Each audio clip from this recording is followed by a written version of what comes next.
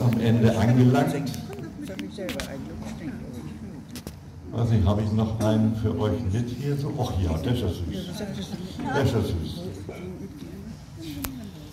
In einer Psychiatrie fragt ein Journalist den Arzt, wie erkennen Sie, ob jemand mental krank ist oder nicht? Der Arzt sagt, ja nun, wir füllen eine Badewanne mit Wasser und dann geben wir dem Patienten einen Teelöffel, ein Glas und einen Eimer. Wir fordern ihn auf, die Wanne zu leeren.